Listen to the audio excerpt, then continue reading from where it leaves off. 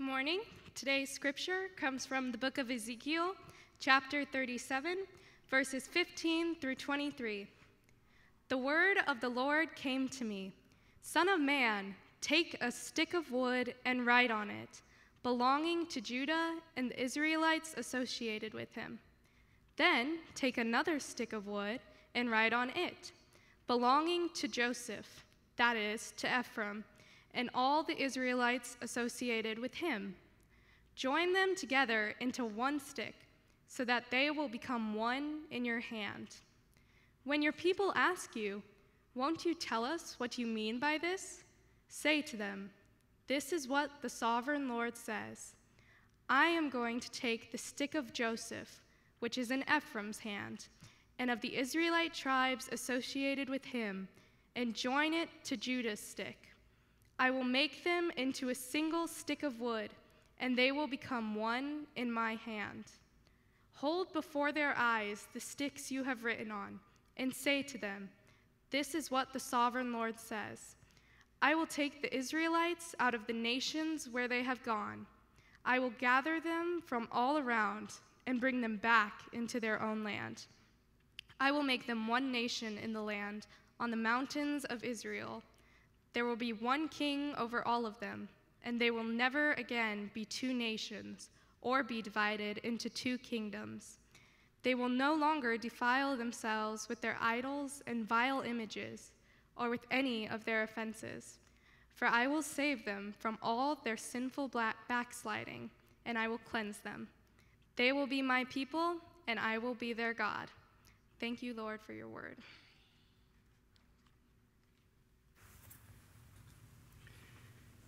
Thank you, Grace, for reading for us today. Well, hello, everybody. Uh, it's great to be with you, and I love seeing all your faces. You know, and you're all entering in here today and just seeing you all greet one another. It was just, just glorious. I also want to thank Jeff Burnett, uh, representing the Finance Committee, and giving you an update of that. And I agree with him that I have a lot of confidence in this congregation. I have seen it over and over that you love God, you love this church, you love one another, and uh, God lead us through it. Let's pray. Come, Holy Spirit, come. Come as the fire and burn. Come as the wind and cleanse. Come as the light and reveal. Show us our sin. Turn us around. Set us apart until we are wholly yours. Amen. Well, today we are continuing the series we started last Sunday on offshoots, which is religious spin offs of Orthodox Christianity. And I'm, and I'm not doing this series to put down other faiths, okay? I'm doing it because I believe that by examining what other groups believe, it helps us to clarify what we believe and why. And what do we believe? Well, there's a, a, lot of ways to approach that, but here's part of it. Here's the heart of today's message. I'm going to put it right up front.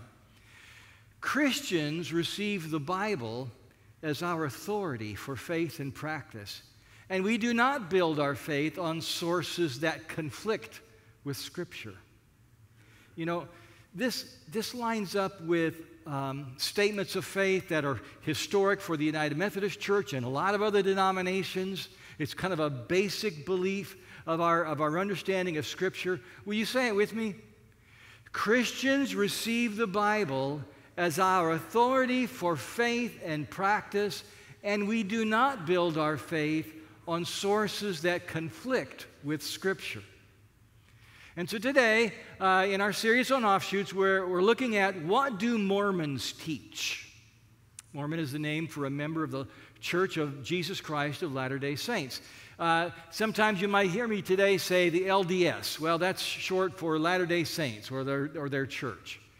And the name Mormon comes from the Book of Mormon, uh, one of their scriptures. And, and of course, the Book of Mormon is also the name of an award winning Broadway musical. Some of, some of you have seen it. Have you seen it? Any of you? I have not, but few, few people have. All right. Um, I once knew a couple who were ex Mormons. She married into the faith. He had been a fifth generation Mormon.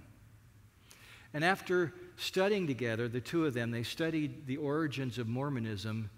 They quietly left the LDS and they began worshiping at our United Methodist Church. Mormons, uh, you know some of them, I'm sure. You, uh, they put a high value on family. They tend to marry younger, marry within the faith, and have larger than average families. There are about six and a half million Mormons in the United States. They tend to be whiter, younger, and more conservative than the average U.S. population. There are more than 16 million uh, Mormons worldwide. How do they start? Well, during the first half of the 1800s, the United States was filled with spiritual fervor. Church revivals and camp meetings were popular. Many, many people found salvation through faith in Jesus Christ. Historians call this period the Second Great Awakening. Methodist, Baptist, and other denominations grew and spread rapidly during this time. In 1820, in western New York State, a 14 year old boy was confused by all these denominations. Who's right? And he began fervently praying, asking God which one was the true church. One spring morning, he was out walking in the woods. Young Joseph Smith knelt down and asked God to give him wisdom to know which denomination was right. He felt as if he was battling Satan in his soul. And then two persons appeared in physical bodies in glorious light. They said they were the Father and the Son. And they told him to not join any church because they were all corrupt. And their creeds were an abomination to God. That was the first of many visions and visitations Joseph Smith would claim over his lifetime. Smith told about his second visitation three years later when he was 17 years old.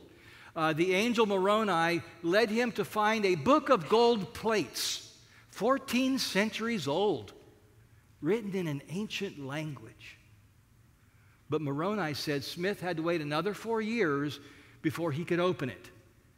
So after turning 21, Smith opened the plates and started translating them with the help of two stones that he said had special powers. And his translation became known as the Book of Mormon. Seminary professor Andrew Jackson says Joseph Smith reported that he returned the original gold plates to the angel Moroni, who apparently took them to heaven. It's unclear whether anyone else ever physically saw those gold plates. The Book of Mormon tells about ancient, the ancient Israelites leaving the, uh, the Middle East and migrating to America. Today's American Indians, according to Mormons, are descendants of those Israelites. The American Israelites became two competing tribes. Uh, the chief of the more noble tribe was named Mormon. And it was more, and, and they were the, they all died out. They were killed by the bad tribe, I guess. Uh, but it was Mormon's son, the angel who became the angel Moroni, who showed Smith these gold plates. Joseph Smith uh, even said that the Book of Mormon was prophesied in the Bible. Uh, he, he, pointed to the passage that uh, Grace just read for us from Ezekiel 37 in the Old Testament. It's about, the passage is about God's chosen people, which at the time were divided into two kingdoms. A lot of you know this, with Israel in the north and Judah in the south. Well, God tells Ezekiel to take two sticks, one for each of the two nations, and then put them together as one stick in his hand to demonstrate that one day God will bring the two nations together as one. Let's, let's review verses 18 and 19. Uh, here, the northern kingdom is referred to as Joseph in Ephraim's hand. It says, When your people ask you, Won't you tell us what you mean by this? Say to them, This is what the sovereign Lord says. I am going to take the stick of Joseph, which is in Ephraim's hand, and uh, the Israelites associated with him, and join it to Judah's stick. I will make them into a single stick of wood, and they will become one in my hand. Joseph Smith said God told him this passage had a completely different meaning. That the first stick uh, Smith said, is the Bible, and the second stick is the Book of Mormon. Now, there's no way you're going to get that from reading Ezekiel. So it shows you how much Mormons trust Joseph Smith and his revelations. Mormons actually believe in four sacred books. Uh, the first is the Bible in the King James Version. But Joseph Smith also said that the Bible has been corrupted and mistranslated and is full of errors, and only the parts of the Bible that agree with the other authoritative Mormon books can be trusted. The second is the Book of Mormon, uh, which is mostly the story about uh, some of those Israelites who moved to America, plus it includes other kind of inspirational passages, a lot like our Bible. The other two are called the Pearl of Great Price and the Doctrines and Covenants. And they contain really the, the most unique and unusual stuff about what Mormons believe.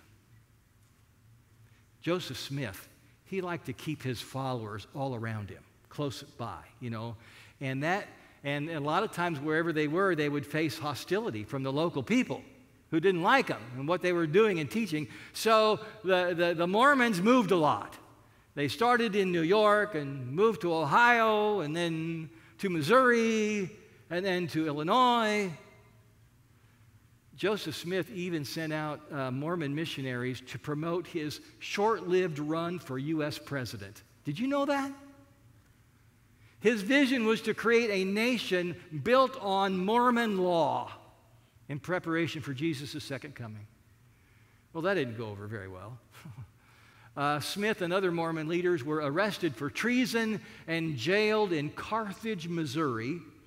While awaiting trial, a mob entered the jail. They shot and killed Smith. The Mormon prophet was martyred at the age of 38. Unfortunately for the LDS, there was no succession plan. Uh, one of Joseph Smith's two wives believed that her oldest son, Joseph III, should take his father's place. Problem was, he was only 11 years old. Interestingly, though, Joseph III later founded what was called the Reorganized Church of Latter day Saints uh, in Independence, Missouri. It's now changed its name. It's called the Community of Christ. And their beliefs are somewhat closer to ordinary Christian beliefs. Mormon leadership after Joseph Smith passed to Brigham Young. You've heard that name. Uh, he was already an important leader in the LDS.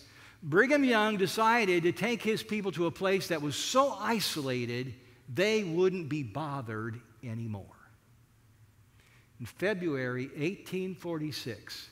Fearing that federal troops would come after them, the Mormons left Illinois and crossed into Iowa, where they waited out the winter. In the spring, they crossed through Iowa and made it to the Missouri River. Unfortunately, there was no Mormon bridge waiting for them. And they had to cross by ferry. Interestingly, in North Omaha, in, in Florence Park at 30th and State Street, you will find a historical marker that says more than 3,000 Mormons spent that winter in, the, in that area before leaving for Utah. Brigham Young ruled the Mormons in Utah for 30 years until 1877. And of course, during this time, polygamy was still practiced uh, by some Mormons, I- including leaders. Uh, Brigham Young himself married at least 20 women and fathered 56 children. But in order to make peace with the United States government, the fourth LDS president and prophet reported receiving a revelation from God in September 1890 that authorized him to stop the practice of polygamy. And that raises an interesting point about the Latter day Saints. The office of prophet and president, it holds great power. This is an authoritarian organization. The, their leader is not even bound by revelations from previous president prophets. Today, the 17th president prophet is 96 year old Russell Nelson. One of the mo- more fascinating teachings of Mormonism is their understanding of God. What do they believe about God?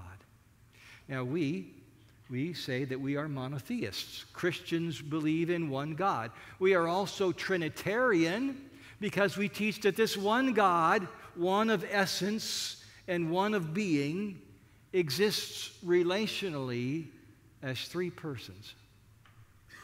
Monotheism is found uh, throughout the Old Testament in passages like Isaiah 43:10, where God says, "Before me no God was formed, nor will there be one after me."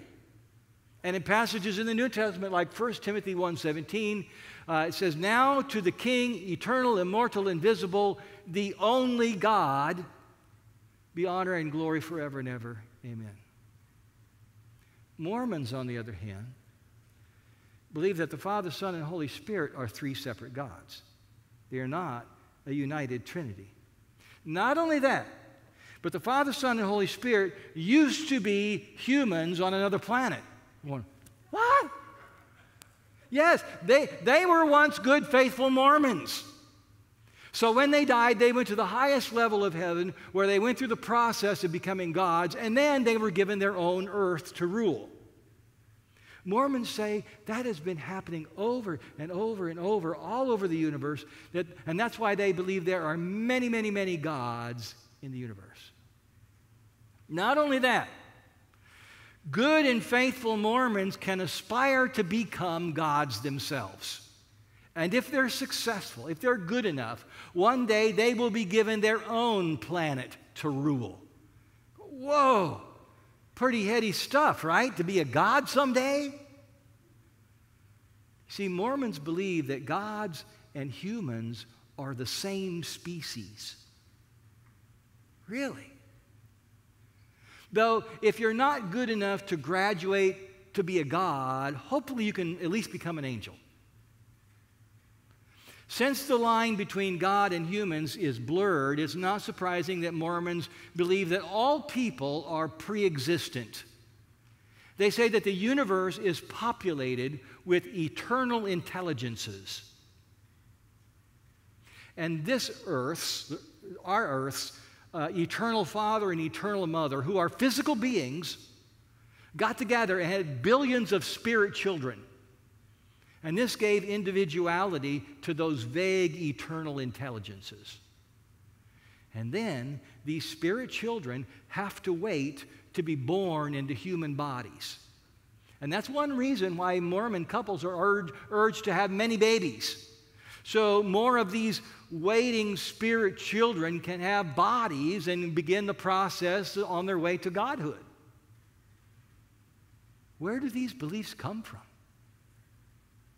They come from Joseph Smith and his visions. Christian churches, we don't teach this stuff. Why? As we said before, it's because Christians receive the Bible as our authority for faith and practice. And we do not build our faith on sources that conflict with Scripture. As Christians, our hope is that on the day of resurrection, we will be purified and glorified, but we will not become gods. Our character will be cleansed, our flaws will be erased, and we will come into our full human glory. Romans 8:21 says, "Then the creation itself will be liberated from bondage to decay and brought into the freedom and the glory of the children of God." When I was a young pastor, a woman who had been raised a Mormon came to me, made an appointment in my office, and said, Well, how do you believe we get to the celestial kingdom? I go, What? What is that? Well, since then, I've learned that Joseph Smith uh, taught some unusual things about the afterlife. He said there is a celestial kingdom, a terrestrial kingdom, and a telestial kingdom, as well as an eternal hell. Where did he get this? Well, he got it by rewriting 1 Corinthians 15:40, which Mormons believe he had every right to do. Here's that verse in the King James Version, which is what would have been available to Smith. It says, There are celestial, let's put it up on the screen, there we go.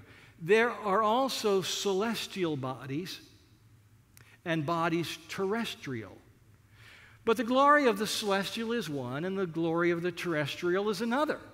The Apostle Paul is comparing the bodies that we have in this life with the ones that we will have on the day of resurrection. We have terrestrial or earthly bodies now, and in the resurrection we will have celestial or heavenly bodies. Well, Joseph Smith completely rewrote this verse, so it's about two afterlife kingdoms celestial and terrestrial, and then for good measure, he added a third place, a telestial kingdom. The highest one is the celestial kingdom, which itself has different levels. And only by the strictest obedience to all the laws and ordinances of Mormonism can a person get to the highest level and have the opportunity to become a God.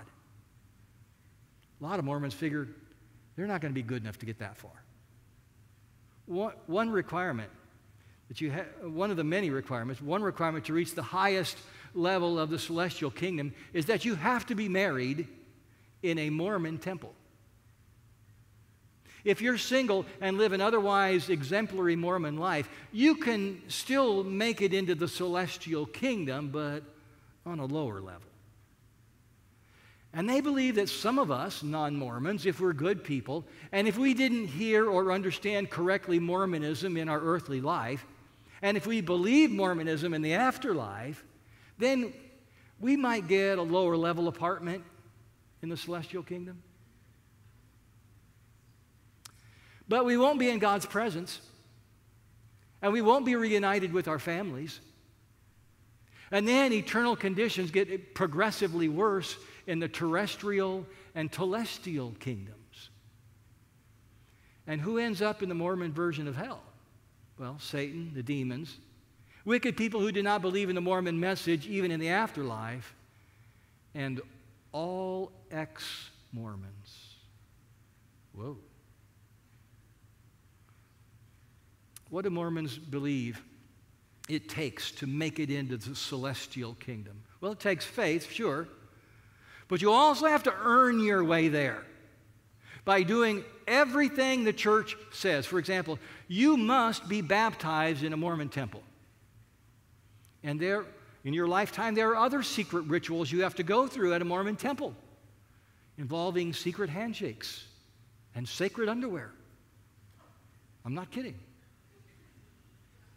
Those rituals are required to receive a superior salvation status. Oh, yeah, you also have to abstain from alcohol, tobacco, coffee, and tea. Well, there go the Methodists.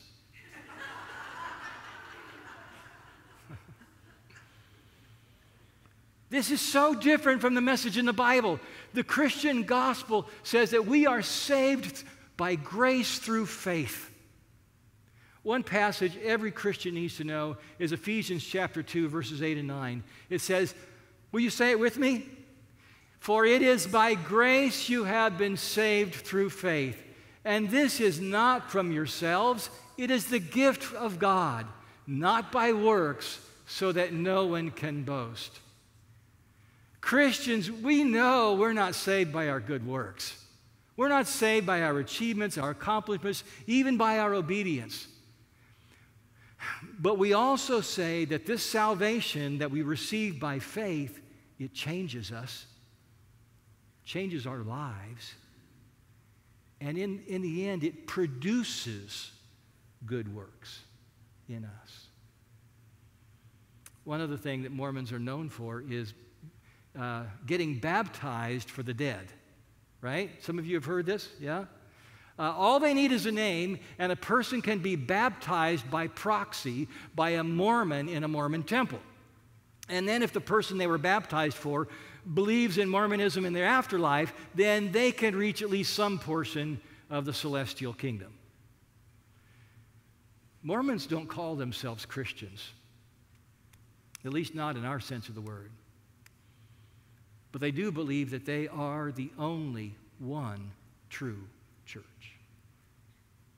They operate under a different set of revelations. Yet, even within Mormonism, a portion of the biblical gospel remains. Andrew Jackson says, the LDS church does distort and twist many biblical truths concerning eternal, sal- concerning eternal salvation, but it does confess and believe that Jesus was incarnated in the flesh, lived a perfect uh, and sinless life, died on the cross, was buried, was resurrected, and was and always will be the one and only messianic Savior of the world. But Jackson adds that this portion of the gospel gets lost in all of the requirements they must fulfill. It gets lost in all of the not in the layers of all the non-biblical beliefs. And this takes us back to the heart of my message today. Christians receive the Bible as our authority for faith and practice. And we do not build our faith on source, sources that conflict with Scripture.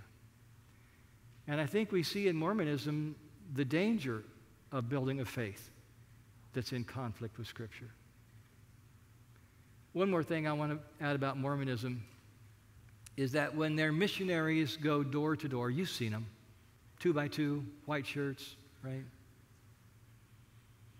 They are most effective with lonely people who have a Christian background.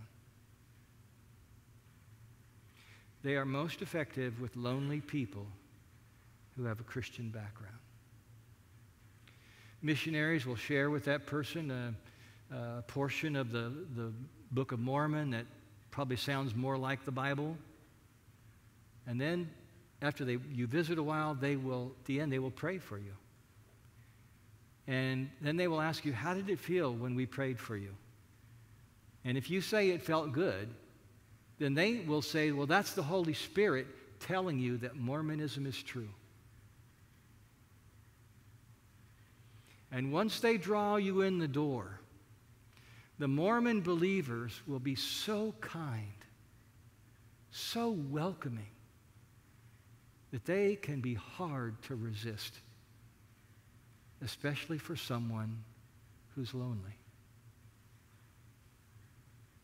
So I say, stay true to the revelation of Jesus that comes to us from the first century scriptures, based on the eyewitnesses of people who knew Jesus. Stay true to the message that has been carried down through the ages, that has brought the saving power of God to all who have believed it. As the Bible says, believe in the Lord Jesus Christ, and you will be saved. Let's pray. Dear God, we live in such a confusing world at a confusing time. And sometimes we just want to we just want to throw up our hands and give up believing anything. Save us, Lord Jesus, from that despair. Confirm in us that believing in you is what we need, and it's all we need. In your name we pray, and all God's people said, Amen.